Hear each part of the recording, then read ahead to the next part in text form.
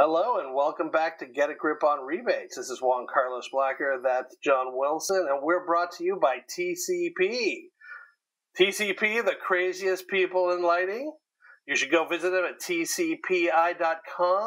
They've got all the products you need and want in lighting. So, John, how you doing today? Oh man, doing wonderful, doing wonderful beautiful day. I know we got a topic lined up that I think we both want to uh, to chew on. Uh, I bet our listeners are hip to this as well because it's rolling out into utility programs, these rebate programs. I'm talking about tunable lighting. It's here. It's finally here, and uh, utilities are giving lighting. rebates. They are giving rebates. They are giving rebates. We're talking color tunable lighting, just to be clear. Uh, and um, and and yeah, utilities are giving rebates. Why? I think mainly because DLC is starting to specify them. Is that is that right, John? Uh, man, this this proves to our listeners that Juan Carlos and I aren't teaming up to try and sound smart ahead of this show because I'm talking about uh lumen output field tuning as well as color tuning out there. So so I, am actually oh. seeing both, and and uh, I'm one step removed from the DLC process currently taking it on. So maybe you can paint those corners in, and you know, e- either either we're ships passing in the day, or we make a really good team. We're peanut butter and jelly. We're going to find out on this podcast. Well, we are gonna we are gonna pass that find out because I'll be honest, I was I was thinking all color tuning, not field tuning. My, my mistake. But let's talk about color tuning for for, for a couple minutes. Um, for those who, who who don't know, color tuning light is light that changes color temperature. There's there's three different types of color tuning, right? You have dim to warm, right, which is going from your regular color temperature down to a warmer color temperature as you dim. There's full color, or sorry, there's white tunable, which means you can just change your Kelvin temperature on demand, which is kind of awesome. Uh, and then there's full color, color tunable, which is used for um, to change any color, blue, green, red, whatever, whatever. So, um, but what, what, what are we talking about? We're talking about field tunable. Well, I think it includes that as well, but more specifically, I'm talking about like being able to pick up for a distributor, your stock in one product that basically has a dip switch on the back, and it might have two dip switches, and one of them is basically variable lumen output, which which also is variable wattage usage, right? So, uh, you know, this is for for distributors who have long lamented, you know, ever since the first generation of LEDs, and they were like, man, I just got this stuff on the shelf and it's obsolete, right? And then ever since then, we've seen distributors don't want to carry all these different SKUs for multiple color temperatures.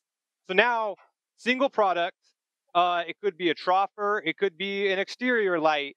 And not only is the user able to adjust between maybe three preset colors, like you were describing, uh, but even more specifically and applicable to these commercial rebate programs, is that product no longer has a fixed wattage, right?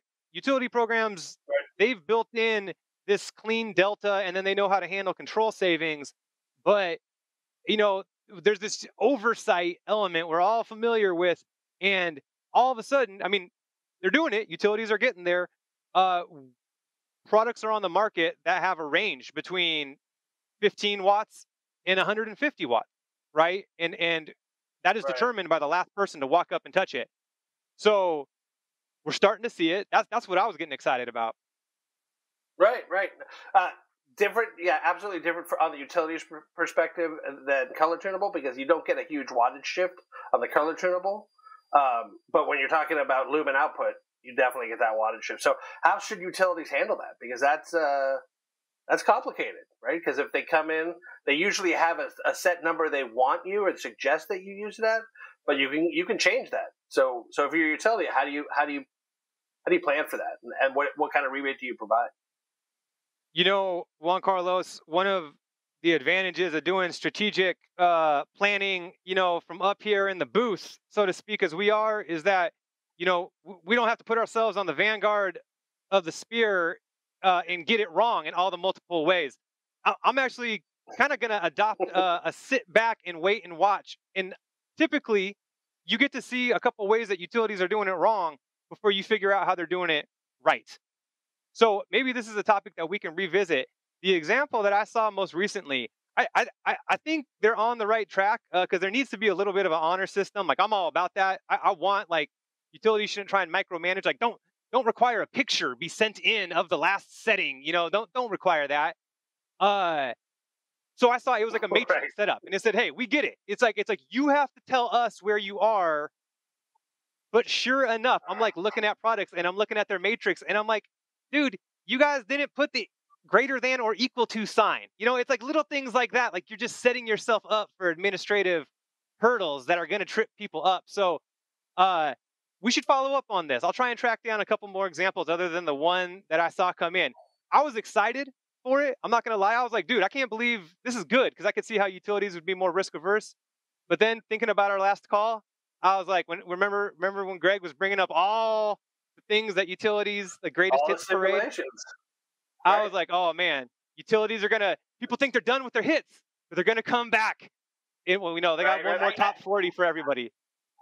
I could see some ridiculous requirement that's like uh, put it in and then break off the, the switch and send it to us so we know you can't switch it switch it out of whatever lumen lumen bucket you put it in something cr- ridiculous or crazy like that which we're be, requiring that ul tape go over the switch to then eh, you know yeah yeah I, and we know that that could definitely happen particularly up there in canada for for get a grip on, on lighting guys. They they like to do crazy things in Canada, but no.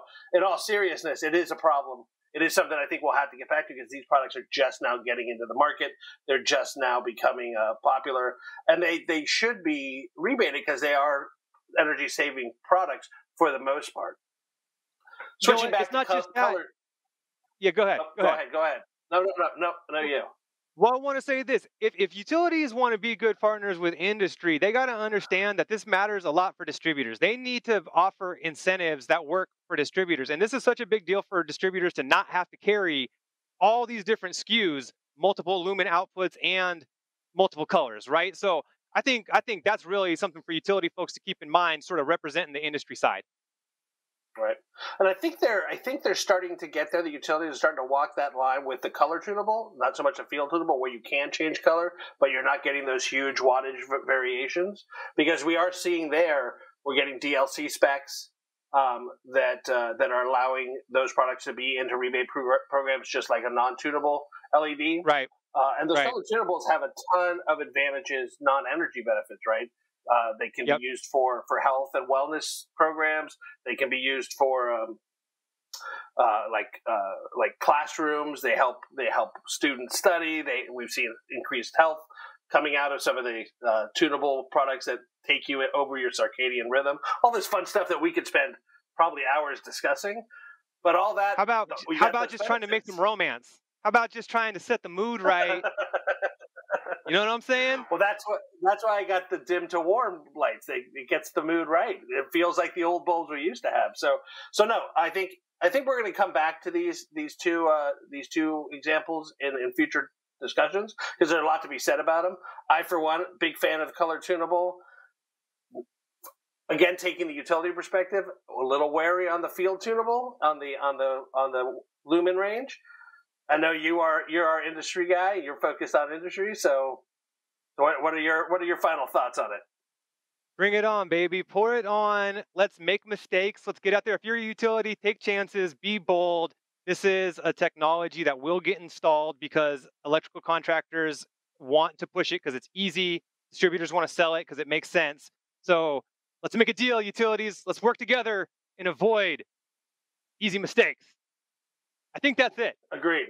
Agreed. Except Agreed. Let, tell people about our friends at tcpi.com, TCP Lighting. They got a little bit of everything, folks. You got to check them out. They got a lot of cool stuff. TCP, I think that's the show. That is the show. Thank you, John. This is Juan Carlos, and we'll see you next time.